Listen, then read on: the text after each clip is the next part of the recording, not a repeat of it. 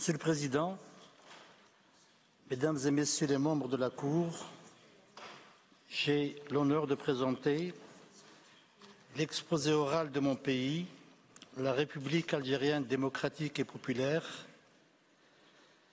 dans le cadre de la procédure consultative relative à la requête de l'Assemblée générale des Nations unies du 30 décembre 2022. Je vais le faire sous le bénéfice des quelques remarques suivantes. Les deux questions posées par l'Assemblée générale ont successivement trait, je cite, aux conséquences juridiques de la violation persistante par Israël du droit du peuple palestinien à l'autodétermination, de son occupation, de sa colonisation et de son action prolongée, et à, je cite de nouveau, l'incidence que les politiques et pratiques d'Israël ont sur le statut de l'occupation et sur les conséquences juridiques qui en découlent pour tous les États et pour l'Organisation des Nations Unies.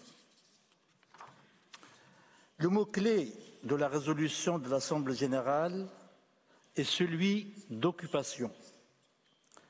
Il est très abondamment cité à la fois dans son préambule et dans son dispositif. En outre, c'est le seul vocable qu'on retrouve dans les deux questions posées par l'Assemblée générale. Une telle importance ne doit pas étonner, car l'occupation prolongée des territoires palestiniens est le point nodal de leur situation qui s'est très considérablement détériorée sur tous les plans ces derniers mois. C'est la raison pour laquelle l'Algérie évoquera d'abord brièvement l'inexistence de raisons décisives pour ne pas répondre à la requête de l'Assemblée générale, premier point, premier temps de mon exposé oral. L'Algérie s'attachera ensuite à l'examen des manifestations de l'occupation prolongée des territoires palestiniens et de leur incidence sur son statut juridique. Deuxième grand point. Cet examen aboutit au constat de la violation continue, graduelle et paroxystique des règles et principes du droit international soulignés par la résolution de l'Assemblée générale. Et enfin, dernier point, les conséquences juridiques pour tous les États et l'Organisation des Nations unies. Sur inexistence de raisons décisives, en substance, quatre arguments ont été développés. Il s'agit du principe dit du contournement de l'absence de consentement à la juridiction de la Cour, premier point, de l'existence d'éléments factuels, deuxième point, du conflit existant entre cette demande et l'existence d'un cadre de négociation, troisième point, et enfin, de l'absence d'objet et de but de la demande.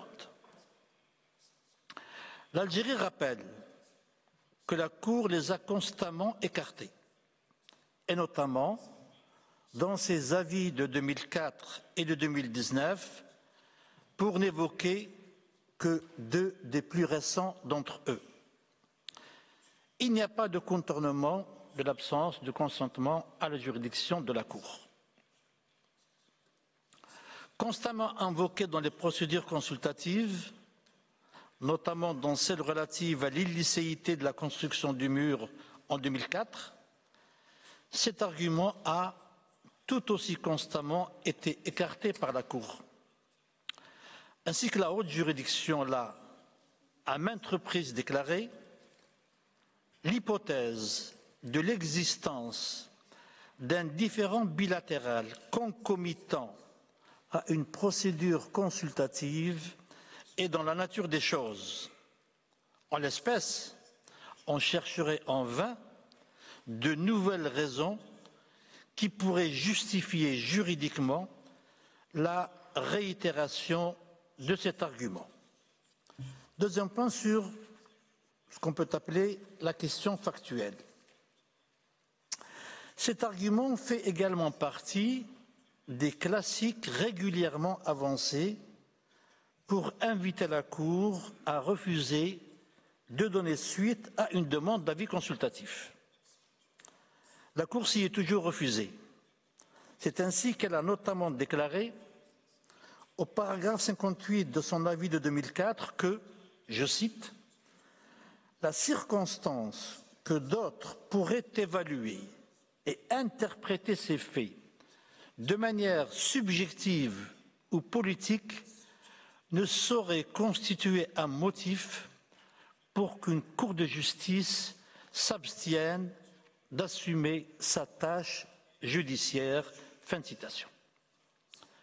Sur le troisième argument, celui relatif à l'existence d'un cadre de négociation. Autre grand classique en la matière, l'existence d'un cadre de négociation mis en place par les accords d'Oslo a de nouveau été avancée pour inviter la Cour à ne pas donner suite à la demande de l'Assemblée générale. La Cour a nettement pris position dans le paragraphe 53 de son avis de 2004 en déclarant que les participants à la procédure ont exprimé à cet égard des vues divergentes et la Cour, et je cite, ne saurait considérer ce facteur comme une raison décisive de refuser d'exercer sa compétence. Fin de citation. Sur l'absence d'objet et de but de la demande de l'Assemblée générale, cette thèse, celle de l'absence d'objet et de but, n'est pas nouvelle non plus. Ici aussi, la, Cour ne devrait pas lui donner suite.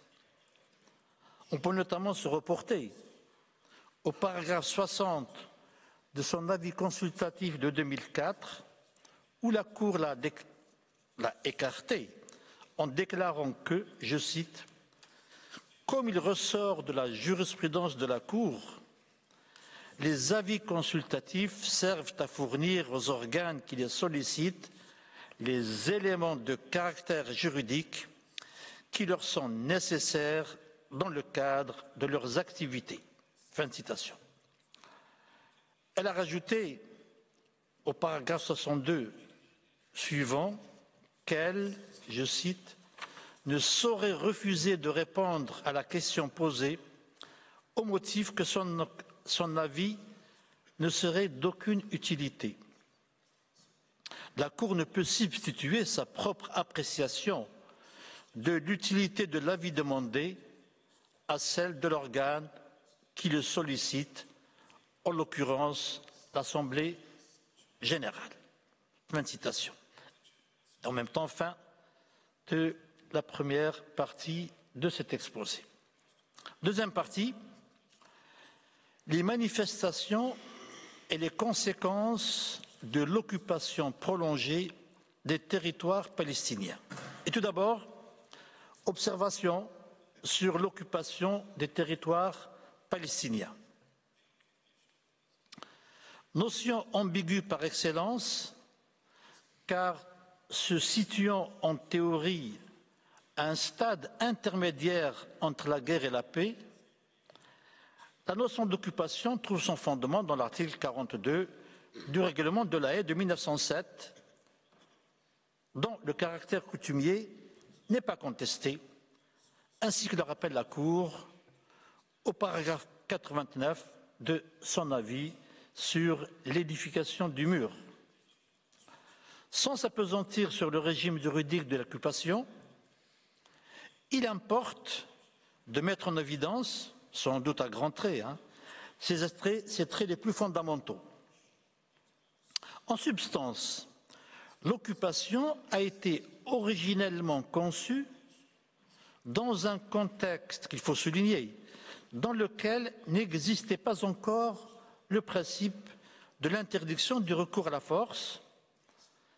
Elle était donc conçue comme un régime temporaire dans lequel la puissance occupante, on le sait bien, n'exerce pas sa souveraineté. On peut en outre souligner qu'elle a été pensée pour gérer des situations transitoires entre la fin des hostilités et la conclusion de traités de paix. Elle suggérerait presque une relation apaisée entre occupants et occupés, à propos de laquelle l'idée d'occupation prolongée relevait de l'impensé des rédacteurs d'alors. C'est la raison pour laquelle le droit de l'occupation n'aborde ni la question de son prolongement, ni a fortiori celle de sa permanence. La multiplication des conflits armés a entraîné de nouvelles formes d'occupation. Les réalités sont bien plus complexes et les États, la doctrine contemporaine, comme le CICR, s'interrogent régulièrement sur certaines inaptitudes de ce droit des années 1907 et 1949. La situation palestinienne est une illustration saisissante du violent contraste qui existe entre les apparences théoriques qui viennent d'être esquissées à très grands traits uniquement et la réalité. L'Algérie considère que la situation créée en 1948 est poursuivie depuis, mais crûment à nu le dévoiement, le détournement de la notion d'occupation par Israël dans les territoires palestiniens occupés. L'objectif d'Israël est d'arriver à un point de non-retour afin d'écarter toute hypothèse de création d'un État palestinien. Cet objectif connaît plusieurs déclinaisons décidées en fonction des situations propres à chaque partie du territoire palestinien occupé, c'est-à-dire Jérusalem-Est, la Cisjordanie et la bande de Gaza. Dès lors, l'occupation est en passe de devenir si elle n'est pas déjà devenue un avatar des anciennes techniques juridiques qui ont exprimé, chacune à sa façon, le droit de la puissance. Deuxième point, après ces brèves observations, la colonisation de Jérusalem-Est et de la Cisjordanie et la situation dans la bande de Gaza premier corollaire de l'occupation prolongée. Dans les trois parties du territoire palestinien, on retrouve la même politique et la même pratique qu'on peut ramasser autour de la formule le fait contre le droit. À Jérusalem-Est, avec la guerre de 1948, le projet onusien de partage, la fameuse résolution 181 de l'Assemblée générale, a connu son premier coup d'arrêt et avec elle les premières manifestations du fait accompli illustrées par l'occupation immédiate de la partie ouest de Jérusalem par Israël en violation, je le disais il y a un instant, de la résolution 181 et en même temps par l'adoption de mesures législatives et administratives, y compris d'expropriation. Après la guerre de 1967, Israël a commencé à y appliquer son droit interne, avec notamment, mais pas exclusivement, avec notamment deux lois adoptées le même jour, le 27 juin 1967. Cette politique va se renforcer encore plus avec la loi du 30 juillet 1980 qui a fait de Jérusalem la capitale, je cite la formule, entière et, réunifiée d'Israël. En réalité, doit être qualifiée d'annexion des jurys. J'y reviendrai. La loi du 27 novembre 2000 l'a amendée, la loi de 80, dans le but de la consolider encore plus, et je cite, pour interdire le transfert de toutes sortes de pouvoirs gouvernementaux. Fin de citation. Elle a de nouveau, cette loi de 2000, été modifiée en 2018 pour en renforcer davantage la portée. Donc, terrain euh, fait accompli d'une part, suivi de la mise sur pied de règles juridiques israéliennes. En Cisjordanie, ici aussi, deux temps successifs à l'occupation militaire planifiée succède le début de la colonisation. Il s'en est suivi la construction massive de centaines de colonies et le déplacement et le confinement des populations palestiniennes et la démolition de leurs constructions.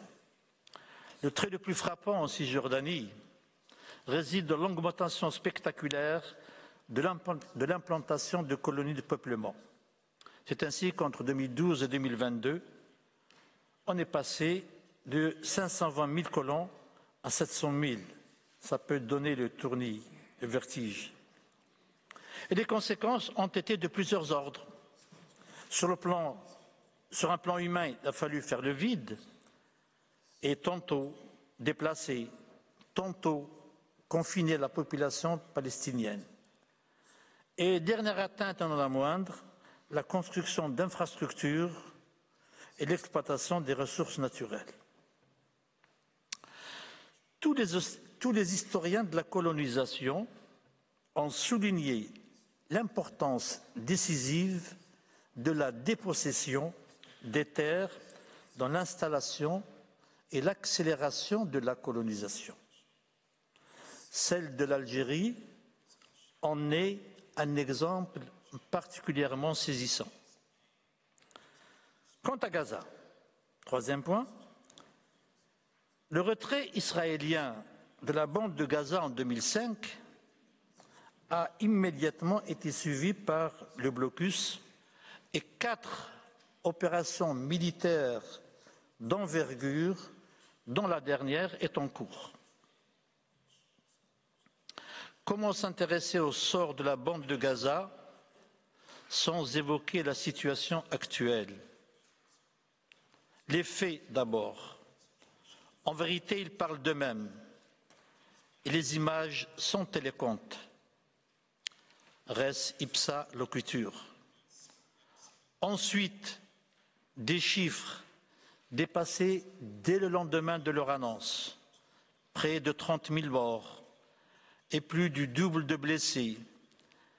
La destruction de près de la moitié de toutes les infrastructures essentielles s'accompagne de famine, de manque d'eau. Bref, on est en deçà du minimum vital. La situation à Rafah est la dernière préoccupation de la communauté des États et des organisations internationales. Sa gravité est due au dernier plan israélien de lancer une offensive militaire d'une grande ampleur, prenant au piège une population civile hagarde et ballottée d'un million quatre cent mille personnes. Au total, une bande de Gaza dévastée pour longtemps. En paraphrasant tragiquement Caton l'Ancien, obsédé par Carthage, qui avait pour leitmotiv la formule Carthago delenda est, on peut dire aujourd'hui que Gaza destructum est. Sur l'annexion, L'annexion est le second corollaire de l'occupation prolongée. Le premier ayant été la colonisation. Les conséquences juridiques tirées de l'évolution dramatique de l'évolution de l'occupation prolongée posent la question de la mutation de cette dernière. Cette question n'est pas nouvelle. Elle est évoquée, elle est parfois suggérée, elle est parfois franchement envisagée après chaque guerre, notamment par Israël. Mais au-delà de cela, la situation d'occupation prolongée depuis 1967 l'impose inévitablement dans le débat. Dans sa deuxième question, l'Assemblée générale a expressément visé l'incidence des politiques et pratiques israéliennes, je cite, sur le statut juridique de l'occupation. S'agissant de la jurisprudence de la Cour, l'Algérie tient à rappeler que dans son avis consultatif de 1950 sur le statut international du sud-ouest africain, et, je cite, alors qu'elle s'exprimait de manière générale sur les mandats, c'est la Cour qui parle, fin de citation, la Cour avait souligné que deux principes furent considérés comme étant d'importance primordiale, notamment, et là je cite, celui de non-annexion, paragraphe 131 de cet avis.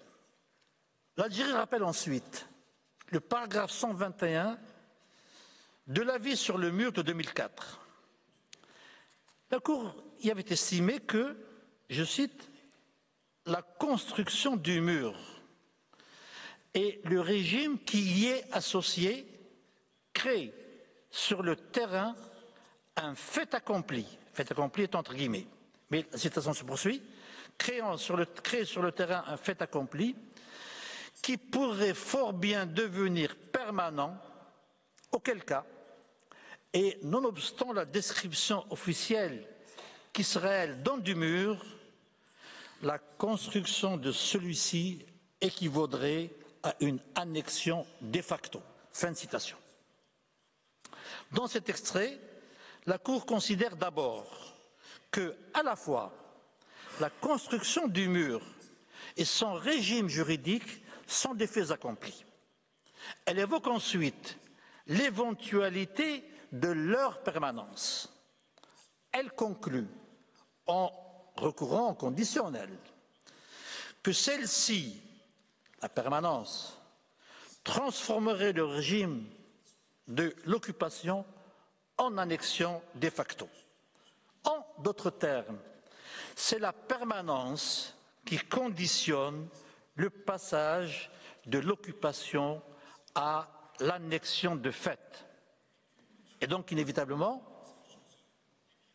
cela renvoie à la question de la durée dont on sait, on l'a évoqué tout à l'heure, le droit international de l'occupation est muet. La notion de permanence doit être appréciée à l'aune du contexte factuel de la situation en 2004 que la Cour n'a pas manqué de préciser. Ainsi, au paragraphe 69 de l'avis, la Cour s'est référée, je cite, aux ouvrages construits ou en cours de construction et a précisé un peu plus loin que, je cite, le Conseil des ministres israéliens a, le 23 juin 2002, approuvé la première phase de construction. Vous trouverez cela au paragraphe 80. Et que la construction du mur s'est accompagnée de la mise sur pied d'un régime administratif nouveau. On peut mieux comprendre la prudence dont est teintée la rédaction du paragraphe 121. En 2004, il était alors encore permis et légitime de s'interroger sur la finition des travaux de construction, eu égard notamment à la date du prononcé de l'avis, 9 juillet 2004, et d'une éventuelle issue heureuse du processus de négociation.